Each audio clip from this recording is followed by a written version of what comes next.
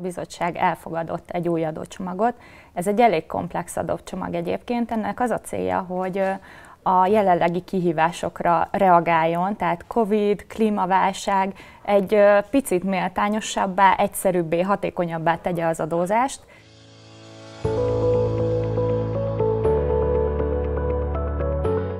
Üdvözlünk mindenkit! Ez itt a Gazdálkodj okosan, a PVC Magyarország adózási és számviteli kérdésekkel foglalkozó podcastja.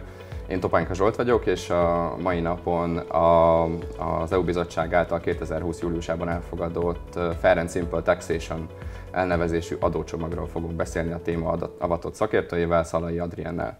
Szia Adri! Szia Zsolt! Fair and Simple Taxation. Mit jelent ez?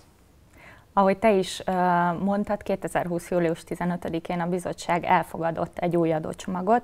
Ez egy elég komplex adócsomag egyébként. Ennek az a célja, hogy a jelenlegi kihívásokra reagáljon, tehát Covid, klímaválság egy picit méltányosabbá, egyszerűbbé, hatékonyabbá tegye az adózást.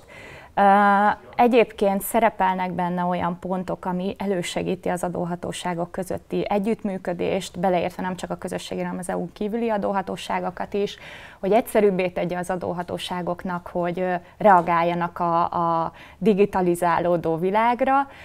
Az adózók szempontjából is tartalmaz nagyon-nagyon sok egyszerűsítési pontot, tehát nagyjából ilyen célokat tart szem előtt ez az új csomag.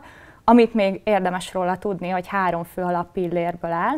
Az első és talán a legfontosabb és legspecifikusabb az egy akcióterv a méltányos és egyszerű adózásra vonatkozóan.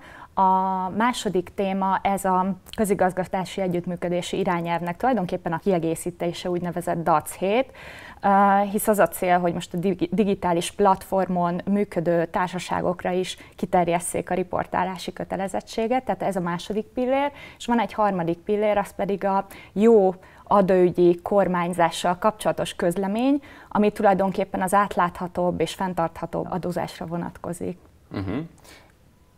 Mondtál most pár dolgot, de mégis ki az az adóalanyi kör, akit ez egyébként érinteni fog, vagy elsődlegesen érinteni fog?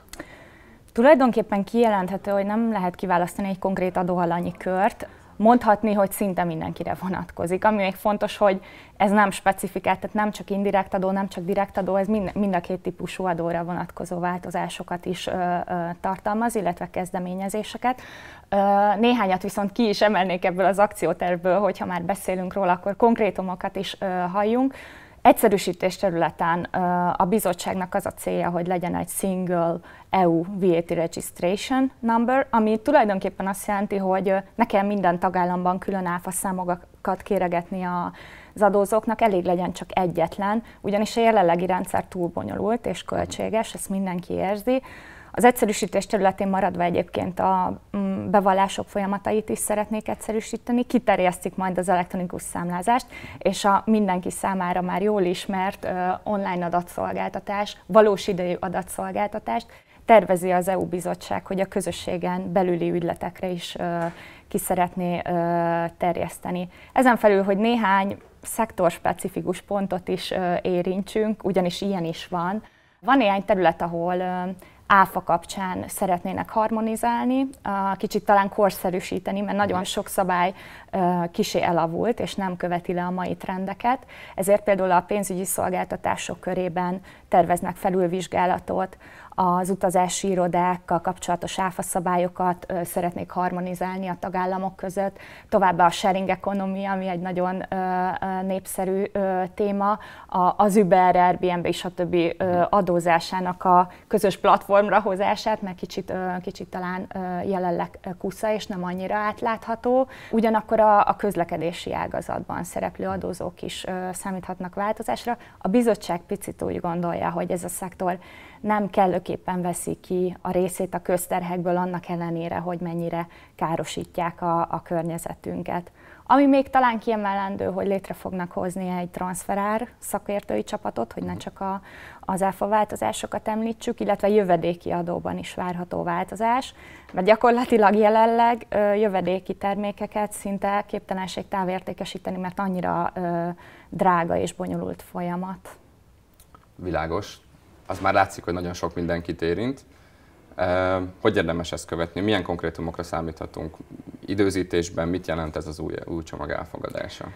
Hát tulajdonképpen a, az akciótervvel kapcsolatban a bizottság egy 2020-tól 2023-as intervallumot tűzött ki, Egyébként konkrét céldátumok is elérhetőek már, tehát a 25 pontra vonatkozóan ö, le van vezetve, hogy mik a céldátumok. Az első ilyen céldátum az 2020 negyedik negyed év, tehát már most is elkezdődött ennek az indítványozása, illetve bevezetése. Én azt gondolom, hogy a fő üzenet az egész adócsomaggal kapcsolatban az az, hogy az elkövetkezendő években jelentős változások várhatóak adózás területén, úgyhogy javasolt az ezekkel kapcsolatos információkat aktívan követni. Világos, köszönöm szépen, Adri. Jól látható tehát, hogy a and Simple Taxation adócsomag az a következő három évben valószínűleg újra meghatározza azt az irányt, ahogy az EU-ban adózási szempontból a jogalkotás meg fog történni, úgyhogy ezt mindenképpen érdemes követni. Természetesen a fejleményekkel jelentkezni fogunk a következő alkalmaink során. A mai beszélgetés ennyi volt, visszanézhetnek minket, illetve követhetnek minket a social media felületeken, illetve a PVC Magyarország honlapján. Köszönjük szépen a figyelmet!